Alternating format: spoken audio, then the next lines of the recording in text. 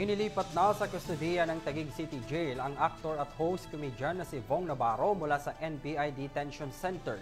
Kinumpirma ito ng kanyang abogado na si Attorney Maggie Garduque. Nauna nang inilabas ng abogado ni Vong na walang kinalaman sa isinampa nilang bail petition ang paglipat kay Navarro sa Tagig. Kundi alinsunod umano ito sa inilabas na commitment order ng Tagig Regional Trial Court Branch 69. Samantala, tinayak naman ni Garduque na ligtas ang pasilidad ng Taguig City Jail bago ang paglipat sa aktor.